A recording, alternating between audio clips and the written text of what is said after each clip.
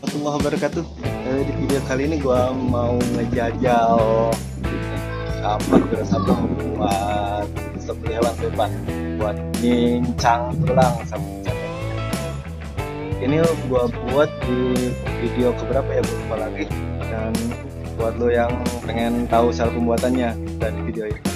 Nah untuk kali ini gua bakalan jajal nih di benernya ini ya gua buat kalian nih buat motong-motong tulang bincang buntut daging-daging gede. Oke. Langsung aja kita ke tempat